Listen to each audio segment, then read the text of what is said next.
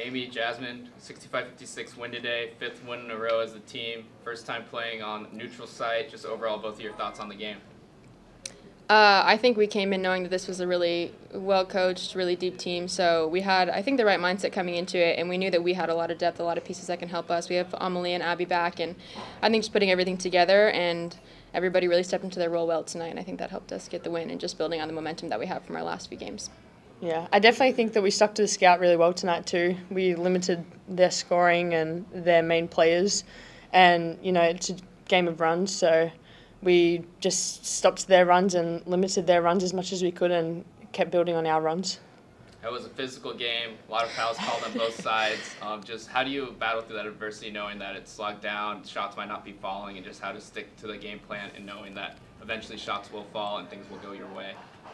Yeah, I think we have a lot of maturity on our team. Um, we're a pretty old team. We have, you know, one freshman, one, you know, a few sophomores, but um, a lot of us have been in college for a while, been playing for a while, and um, especially the people that have been here for years, they set the stage really well for what needs to happen when we get on the court and how to just stay calm. We have really good point guards leading us, really good veterans. So, yeah, I think just a maturity thing, being able to come in and know that the game's going to go our way if we keep sticking to what we know how to do best. Yeah. Amy, for you, yours, your first year here, obviously as a point guard, you're coming in trying to set up your teammates. What were you seeing today as you were getting opportunities to score, as well as setting up your teammates, especially around the glass? Yeah. Um, we came in knowing that they were going to hard hedge screens, and Coach Jones got into me about coming off the screen hard and uh, attacking like the big's hips. So that's just what I tried to do, and I'm always trying to find my teammates for open shots. So I just love being able to do that.